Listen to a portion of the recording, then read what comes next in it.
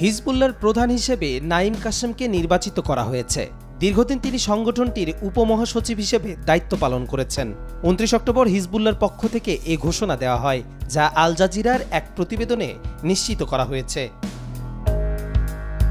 গেল সেপ্টেম্বরের শেষের দিকে লেবাননের রাজধানী বৈরুতে ইসরায়েলের এক হামলায় নিহত হন হিজবুল্লার সাবেক প্রধান হাসান নাসরুল্লাহ।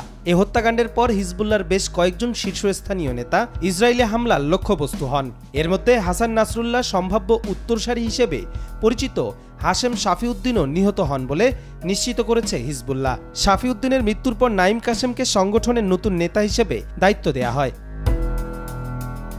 হিজবুল্লাহ এক বিবৃতিতে বলেছে হিজবুল্লাহ নীতি ও লক্ষ্যবস্তুর প্রতি কাশেমের গভীর আনুগত্য এবং তার দীর্ঘ অভিজ্ঞতার জন্য তাকে নতুন নেতা হিসেবে নির্বাচিত করা হয়েছে। বিবৃতিতে আরও উল্লেখ করা হয়, আল্লাহর কাছে প্রার্থনা যে তিনি কাশেমকে হিজবুল্লাহ এবং ইসলামী প্রতিরোধের সঠিক দিক নির্দেশনা দেবেন।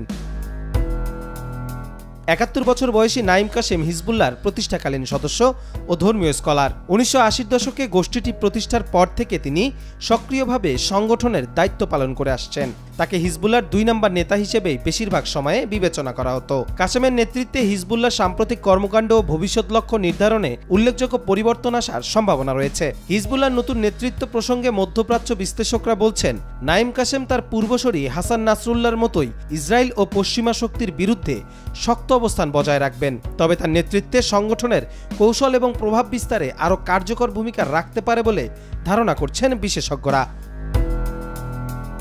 Kabir Chowdhury Joy, my TV.